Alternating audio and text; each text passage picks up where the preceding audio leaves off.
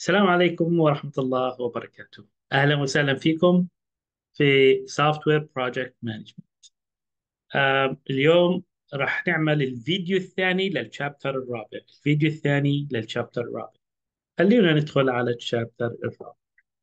share my screen okay هاي ال chapter الرابع. في هذا ال chapter عشان نكمل هذا ال chapter هون نبدأ نحكي عن ال project plan ال project plan اسمها project plan اللي هي الخطة اللي بدنا نمشي عليها بكل محتوياتها على ورق على ورق. وهون لما نحكي على ورق طبعا حجم ال- المشروع هو اللي بحدد حجم الورق. إذا كان مشروع كبير طبعا راح نذكر تفاصيل كثيرة بالمشروع فالأوراق راح يكون عددها كبير جدا. مشروع صغير جد صغير صغير ممكن نحتاج لبعض الأوراق بس المهم الفكرة في مش عدد الأوراق أكثر ما إنه الفكرة بإني لازم آه، أكتب كل البيانات اللي بتتعلق في المشروع في هاي ال plan project plan اللي هي الخطة اللي بدي أمشي عليها. هون أول slide تحكي لنا عن شو هو أصلا ال project plan أو شو لازم ال project plan يكون فيها ك project plan okay طبعا ال project plan هون كت- مكتوبة minimum of the following information يعني على أقل شيء لازم يكون هدول المعلومات تكون موجودة في ال project plan أول شيء طبعا خلينا نحكي لو فكرنا في ال project plan عبارة عن مشروع تخرج الطلاب من الجامعة هاي الفكرة. الفكرة ان تكون مشروع تخرجك من الجامعة شبيه في ال project plan يعني كيف؟ يعني اولا آه لازم يكون في آه آه اسم للمشروع. اسم للمشروع وزي ما حكينا عنه اسم جديد أو اسم للمشروع بشكل عام اللي بيمثل عن اللي بيدل على المشروع أو بيمثل المشروع. لو فكرنا فيها مثلا ال cover page اللي هي أول الغلاف اسم المشروع Okay؟ آه ويمكن ساعات ممكن يكون بس اسم المشروع من غير مين اللي عمل المشروع. بس من أول ما تفتح الغلاف دائما أنا بحكي للطلاب ال- الأفضل الأفضل يعملوا table of contents اللي هي الفهرس. الفهرس اللي بيدل على إنه إذا أنت بدك تشوف هاي النقطة موجودة في هاي الصفحة. فالفهرس لو كان بالذات لو كان ال project plan كبيرة جدا الفهرس كثير كثير بيساعد القارئ على تتبع ال- الخطة اللي أنت راح تمشي عليها. فلازم يكون ال ال ال الاسم. وبعدين لازم يكون آه آه خلينا نحكي the description of the project. A brief description يعني بشكل بإيجاز شو هو المشروع؟ شو بدك تعمل في المشروع؟ المشروع مثلا زي ما حكينا بالأمثلة السابقة آه آه برمجة أو إنتاج آه نظام تسجيل الطلاب في الجامعة. ف brief description عن هذا المشروع ضروري جدا في ال project plan ضروري تفصيل عن ال description إنك تحكي شو هو المشروع. آه، آه، ضروري جدا طبعا يكون موجود في ال plan. ولا ولا يعني كأنك تحكي لواحد روح شمال روح يمين روح فوق روح تحت لف تعال كذا. وهو مش عارف وين راح يروح ولا عارف شو راح يعمل. ف brief description of the project must be لازم تكون موجودة في ال في ال project plan sponsor's name يعني مين اللي بده يمول المشروع؟ مين اللي بده يمول المشروع؟ أنا بحكي هون أحد الأوراق اللي ضروري تكون موجودة من ضمن ال plan إذا بتتذكروا ورقة أو document اسمها project charter project charter حكينا عنها في الفيديوهات اللي فاتت. هاي ضرورية تكون موجودة من ضمن ال project plan لأنها بتحدد شو هو المشروع تحكي مين هم اللي شغالين بالمشروع تحكي مين ال sponsor تحكي تكلفة المشروع فضروري تكون موجودة بالمشروع في ك plan The names of the project manager. لاحظوا في التشارتر برضو موجود ال project manager ال project manager deliverables of the project. شو أنت بدك تسلم من خلال هذا المشروع؟ اللي زي ما حكينا عبارة عن مراحل عبارة عن phases شو اللي بدك تسلم في هذا المشروع؟ لازم يكون مكتوب جوا ال plan انت مثلا حكينا بعد شهر بدك تسلم كذا لازم تكون موجودة بهاي ال plan هاي ال deliverables شو اللي بدك تسلم بالنهاية شو اللي راح تسلمه. فهاي كلها لازم موجودة في الخطة. في أي حال من الأحوال هاي الخطة مش بس للناس تعرف شو أنت كيف راح تمشي برضو أنت ك project manager أو ك team شغال في هذا المشروع هاي تعتبر الخطة اللي أنت راح تمشي عليها الأمور اللي أنت راح تعملها. دائما ترجع لها لو محتاج تتذكر شيء معين أو تتذكر تفاصيل معينة. A list of important reference material. لو أنت لو أنت عندك آه، استخدمت شيء برا المشروع عندك بدك تعمل reference لشيء معين مثلا في أحد المشاريع بحكي لك أنا مثلا بدي أعمل reference لطريقة بناء هذا الشيء بناء على نظام قديم موجود في كذا. فهذا ال reference بودي اللي قارئ بيروح على النظام القديم اللي موجود بيطلع عليه بيطلع عليه. فهذا ال reference يعني. بأي حال من الأحوال ال reference اللي هو المراجع اللي أنا بستخدمها في في في شغلي أو خطتي في خط الخطة اللي راح أمشي عليها. A list of definitions and acronyms. هاي uh, by the way ال references وال acronyms آخر نقطتين هدول بيكونوا موجودين في آخر ال plan في حالة إنه كانوا عددهم عدد صفحاتهم كثيرة. لو عدد صفحاتهم كثيرة بيكونوا بآخر ال plan زي الكتاب العادي زي الكتاب ال textbook الكتاب تبعه الجامعة. بتشوف إن آخر شيء بيكون فيه references وبرضه بيكون في شيء اسمه acronyms آخر شيء بس لو كانت صفحة ال acronyms كانت صفحة واحدة ما في مانع إذا كانت من أول آه، صفحات ال project plan بس شو هي هاي ال acronyms ال acronyms اللي هي المختصرات. يعني مثلا نحكي مثلا IS أو ايزو اللي هو تبع الايزو ايزو هي ايزو مختصرها آه، هي اختصار لإيش؟ اللي هي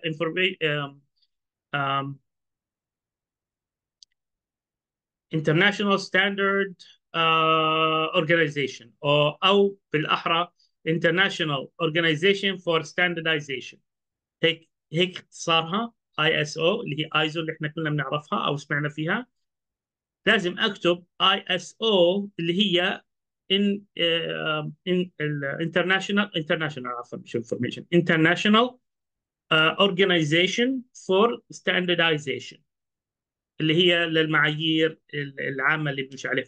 فأي شيء مختصر بدي يكون موجود عندي ككتابة في ال project plan لازم أكون معرف شو هذا اللي أنا مستخدمه. PMP project management professional اللي هو تبع ال certifications لازم أكون معرفها بالنهاية إنه ال PMP هم بعني فيها كذا. كذا الايزو بعني فيها كذا. فالفهرس عفوا ال references وال acronyms لو عددت صفحاتهم كثيرة أكثر من واحدة خلينا نحكي أكثر من واحدة بحطهم بنهاية ال project الثاني. okay ال slide اللي بعدها. برضه في ال project plan لازم يكون عندي charts charts اللي هي الرسوم البيانية أو. ال images الرسومات اللي عندي لازم يكون عندي إياها.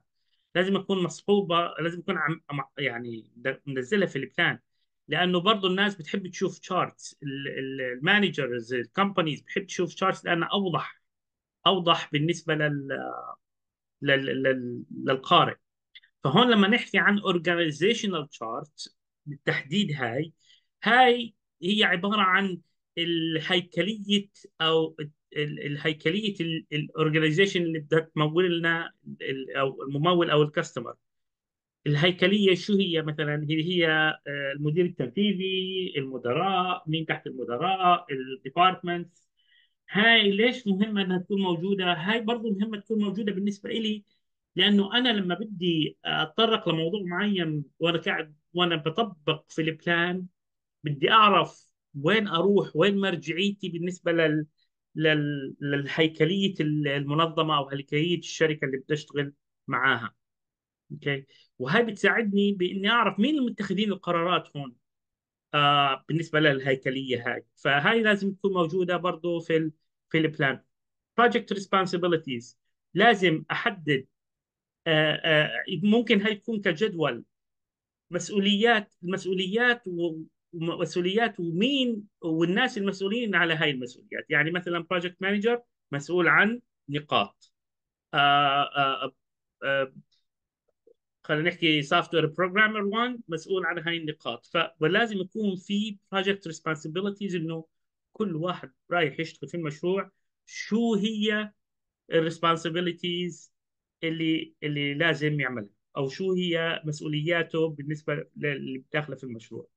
Other organizations or process related information. آخر نقطة. هاي بشكل عام أي معلومات بتخص المنظمة بخص الفريق برضه تكون موجودة آه، من ضمن ال plan. ال slide اللي بعدها آه، برضه من ضمن ال plan في شيء اسمه management objective إحنا ساعات بنحكي للطلاب هي بشكل عام هيك بكتبوها في ال في ال في السوق. إنك أنت تكتب آه المشروع اللي أنت بدك تعمله اللي هو مين حكى لك عنه؟ الكاستمر. الكاستمر حكى لك بدي مشروع كذا كذا كذا. فأنت بتكتبه وبتوريه بتور... بتظهر له إياه إنك أنت كتبته هيك فهمت على هذا هاي المشروع. فأنت لما توري الكاستمر آه، كيف شايف أنت المشروع من منطلقك أنت ك project manager أو كشخص بده يعمل المشروع مهم جدا علشان ال management يعرفوا إنك أنت فاهم عليهم. أنت فاهم عليهم. It's important to understand top management's view of the project. هم بيحكوا لك أنت بتكتبه بطريقتك أي نعم بس كتابتك لإله بيعرفهم إنك أنت فاهم على اللي هم بدهم إياه. فبناء عليه هذا هو اللي أنت راح تعمله أوكي؟ project controls. project controls هون تعني الشغلات اللي أنت لازم تتحكم فيها وإذا صار في أي تعديل أي تغيير تقدر تتماشى مع هذا التغيير التغيير أو التعديل. وهناك عادة عادة بيكون بيكون سواء اسبوعيا بس عادة بيجي مش اسبوعيا هي يا شهريا يا ربع سنويا يعني يا كل شهر يا تقريبا شهر بعد شهرين وشوي شهرين ونص خلينا نحكي ثلاث أشهر تمام؟ في status reviews في دائما نرجع شو اللي نفذناه شو اللي عملناه شو اللي ما عملناش شو إحنا ماشيين صح مش ماشيين صح. ففي دائما تقييم لمسارنا سواء شهريا أو أو كذا شهر تقييم لمسارنا بحيث إنه هل إحنا ماشيين اتجاه الصح؟ في أي تعديل محتاجين نعدل عليه؟ في أي تغيير محتاجين نغيره؟ فهون project controls بتحكي عن هاي أي تعديل أي تغيير لازم أكون آه، آه، أناقشها لازم آه، أناقشها وأكتبها في في في الخطة أو ممكن تكون أكتبها إذا صار شيء جديد. ينكتب وينضاف برضه ك طول ما أنت ماشي في ال في, في ال project risk management risk management هون بنحكي عن الشغلات اللي ممكن تضر المشروع. فمثلا خلينا نحكي مثلا وأنا شغال آه عندي أربع مبرمجين آه اثنين منهم طلعوا. هاي يعتبر risk بالنسبة لي للمشروع. فلازم أي أنا لازم يكون عندي identify ال risk و identi وأعرف كيف أعالج هذا ال risk وأقدر المستطاع اعمل control على هذا ال risk. أتحكم بهذا ال risk إنه ما يصير. okay؟ project staffing برضه من ضمن المعلومات لازم تكون موجودة بالخطة. أسماء كل الأشخاص اللي راح يشتغلوا بالمشروع مع أرقامهم مع إيميلاتهم مع كيف أتواصل معهم. project staffing أي شو الفريق اللي أنا بدي إياه؟ كونته. هدول هم. اسمائهم أرقام تليفوناتهم إيميلاتهم. كل المعلومات اللي اللي لازم تكون موجودة عندي عشان المشروع لازم أخليها جزء من ال project plan okay technical processes هون بنحكي عن uh, describe specific methodologies a project might use and explain how to document information. ال, ال, كيف أي موديل أو أي method أي طريقة بدنا نعمل هذا المشروع فيه وإذا في برضه آه خلينا نحكي كيف بدي أعمل documentation للمعلومات اللي بتوصلني للمعلومات اللي موجودة عندي. كيف بدي أعملها documentation يعني مثلا بيجي بيحكوا لك مثلا بنحكي إنه كل كل الداكي كل المعلومات بيتم تداولها عن طريق الإيميل. كيف بدي أحفظ هاي المعلومات؟ ممكن أحفظ هاي المعلومات لو كانت مرفقة في في external whatever it is. ايا كانت طريقة حفظ هاي المعلومات لازم يكون عامل documentation عشان أقدر أعرف وين أرجع لهاي المعلومات okay؟ زي ما حكينا هاي خطة عمل متكاملة على مسار هذا المشروع. آخر slide للفيديو اليوم. The next uh, uh, section uh, of the project management should describe the work to perform and reference the scope management plan. يعني خلينا نناقش النقاط. أكثر.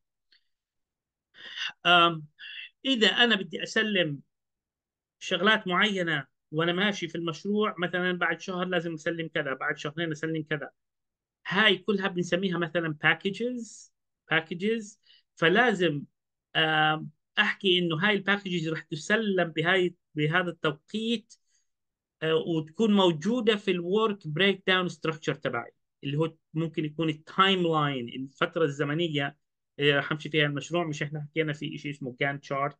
بشوفها برضه بعدين Gantt chart اللي هي المراحل وال activities اللي بعملها جوا المراحل.